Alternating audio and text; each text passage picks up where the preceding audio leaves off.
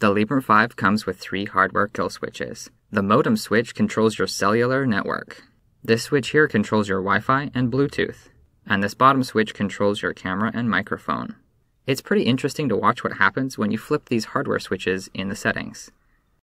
The 4G connection drops instantly.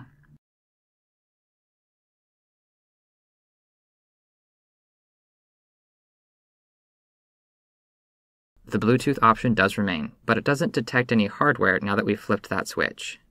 The microphone also works up until the last moment that you flip the hardware switch. Navigating your way through settings can be challenging, but fortunately the Librem 5 comes with a very good search tool in settings.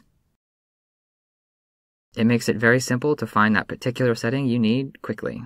You can specify which apps are allowed to send you notifications. You can even specify how those apps are allowed to send you notifications. The privacy settings affect the entire device. You can software disable the camera, microphone, or even turn off automatic device locking. You can also change the device language or add a new keyboard layout. In the sound settings, you can control the overall output volume, as well as which devices are used for input and output. To set up contacts, head over to the settings and connect an online account. With that done, you can call directly from the Contacts app.